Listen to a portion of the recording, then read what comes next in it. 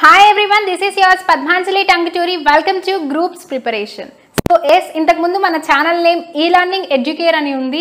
But ఈరోజు ఈ learning Educare నుంచి గ్రూప్స్ ప్రిపరేషన్గా చేంజ్ చేయడం జరిగింది. చాలామంది నోటిఫికేషన్స్ వస్తే సరే లేదంటే అవి సర్చ్ చేసుకొని చూసుకోవడం టఫ్గా ఉంది ఆ లైన్ అనేది అని చెప్తూ ఉన్నారు. So that's the reason why అందరికీ యాక్సెస్ ఉండేట్లుగా గ్రూప్స్ ప్రిపరేషన్ అని ఛానల్ నేమ్ అని చేంజ్ చేశాము.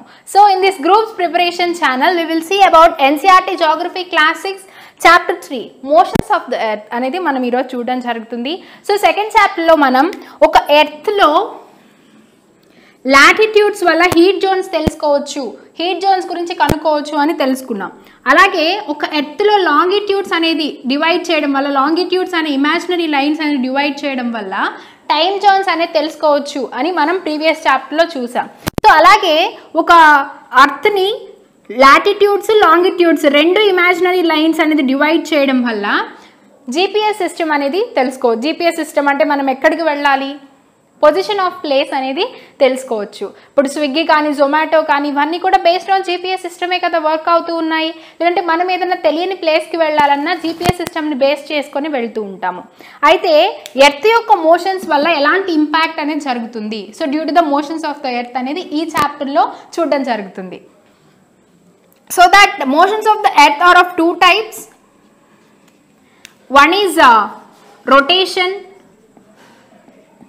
second one is revolution okay so first rotation అనేది చూస్తాము so before going to see about the rotation we will earth అనేది twenty three and half degrees అనేది tilt అయి ఉంటుంది అని మనం చూసాం సో ఎర్త్ అనేది ఈ విధంగా twenty three and half degrees అనేది టిల్ట్ అయి ఉంటుంది అని మనం నేర్చుకోవడం జరిగింది. అయితే ఎర్త్ అనేది twenty three and half degrees tilt అయి ఉంటుంది అని మనకి ఎలా తెలుస్తుంది?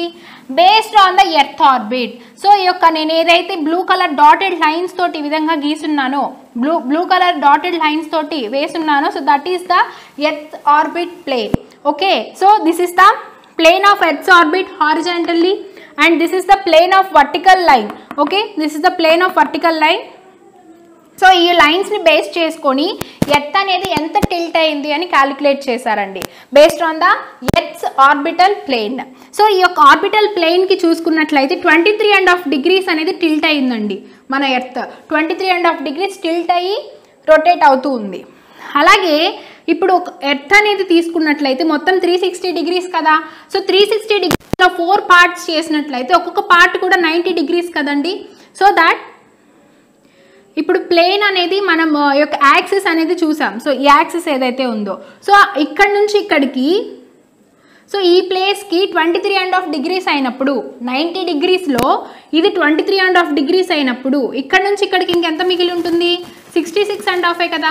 సో అది మనకి ఇక్కడ చూపించడం జరిగింది. So that is what here the axis of earth makes and axis of sixty six and half degrees with its orbital plane అని చెప్పడం జరిగింది. So this is the plane of earth's orbit which is horizontal line so this is the vertical line okay clear కదా? So that now we will see about the rotation అసలు rotation వల్ల ఏం జరుగుతుంది? Rotation జరగడం వల్ల ఏమవుతుంది earth అనేది west to east అనేది ఈ విధంగా రొటేట్ అవుతుంది అని మనం డిస్కస్ చేసుకున్నాం. అసలు రొటేషన్ అవడం వల్ల ఏమవుతుంది? డే అండ్ నైట్స్ అనేది వస్తాయి. ఎర్త్ అనేది రొటేట్ అవడం వల్ల ఎర్త్ అనేది వెస్ట్ ఈస్ట్ అనేది రొటేట్ అవుతుంది. ఎర్త్ అనేది రొటేట్ అవడం వల్ల డే అండ్ నైట్ అనేది చేంజ్ అవుతాయని మనం అనుకున్నాం. ఒకసారి ప్రాక్టికల్గా చూద్దాం. So that this is the earth and this is our artificial sunlight i'm introducing you. And okay ఇప్పుడు ఎర్త్ అనేది ఈ విధంగా సన్లైట్ అనేది ఫేస్ చేస్తుందండి. హాఫ్ ఆఫ్ ది ఎర్త్ అనేది సన్లైట్ అనేది ఫేస్ చేస్తుంది. హాఫ్ ఆఫ్ ది ఎర్త్ అనేది డార్క్గా ఉంది. సో అప్పుడు ఏంటి? ఈ డార్క్గా ఉన్నటువంటి హాఫ్ ఆఫ్ ద ప్లేస్ అంతా కూడా నైట్ నైట్ అనేది ఎక్స్పీరియన్స్ చేస్తుంది. సో ఇటు సైడ్ ఏదైతే యొక్క లైట్ అనేది పడుతుందో సన్ లైట్ అనేది పడుతుందో డే ఎక్స్పీరియన్స్ చేస్తుంది. ఆ విధంగా ఎర్త్ అనేది వెస్ట్ టు ఈస్ట్ అనేది రొటేట్ అవుతుంది. సో ఈ విధంగా వెస్ట్ టు ఈస్ట్ అనేది రొటేట్ అవుతుంది కదా? ఆ వెస్ట్ టు ఈస్ట్ అనేది రొటేట్ అయినప్పుడు అనదర్ హాఫ్ పార్ట్ అనేది ఏంటి? సో ఆ ప్లేస్లో అనదర్ హాఫ్ హాఫ్ పార్ట్ ఏంటి? డే అనేది ఎక్స్పీరియన్స్ చేస్తుంది. ఈ అనదర్ హాఫ్ పార్ట్ ఏంటి?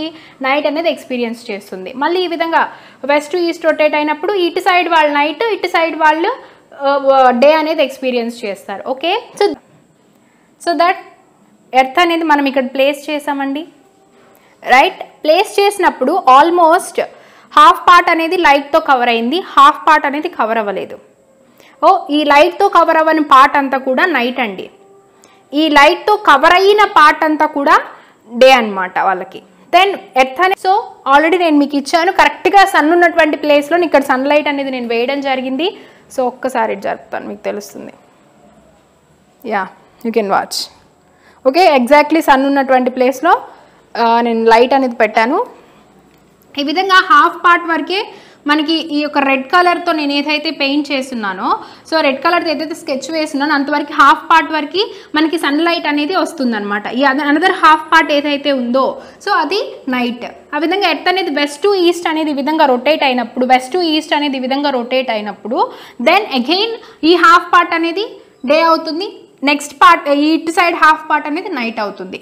సో ఆ దాన్నే సర్కిల్ ఆఫ్ ఇల్యూమినేషన్ అని పిలుస్తారండి. So the portion facing the sun experiences day while the other half away from the while the other half away from the sun experiences night ఒక side day అనేది experience చేస్తుంది ఇంకొక side ఇంకొక side night అనేది experience చేస్తుంది. So దాన్నే circle of illumination అంటాము. Okay this is the circle of illumination so earth rotation వల్ల ఏం ఎలాంటి ఇంపాక్ట్స్ ఉంటాయి? డే అండ్ నైట్ అనేది చేంజ్ అవుతుంది. ఇన్ కేస్ ఎర్త్ అనేది రొటేట్ అవ్వకపోతే అండి ఒక సైడ్ వాళ్ళకి ఆల్మో ఇటు సైడ్ ఉన్న వాళ్ళందరికీ డేనే ఉంటుంది. ఇటు సైడ్ ఉన్న వాళ్ళందరికీ నైటే ఉంటుంది అనమాట సో అలాంటప్పుడు ఇంత అంత ఎక్స్ట్రీమ్ కండిషన్స్లో it is impossible to live అని కూడా మనం చెప్పొచ్చు. దెన్ రివాల్యూషన్ ఎర్త్ అనేది ఈ విధంగా రొటేట్ అవుతూ సన్ చుట్టూ రివాల్వ్ అయితే వచ్చేటువంటి ఇంపాక్ట్స్ ఏవైతే ఉంటాయో సో సన్ చుట్టూ ఇంపా రొటేట్ రివాల్వ్ అయితే వచ్చేటువంటి ఇంపాక్ట్స్ ఏవైతే ఉంటాయో అవి మనం పార్ట్ టూలో చూద్దాం. ఓకే థ్యాంక్ యూ అండ్ మనం ఆల్రెడీ చెప్పుకున్నాం we are changed our channel name from e learning educate to groups preparation so for getting access to each and every person and అలాగే please to share and subscribe to our channel for more information and if you have any doubts feel free to post in the comment section. And we are very happy to answer to your questions. Thank you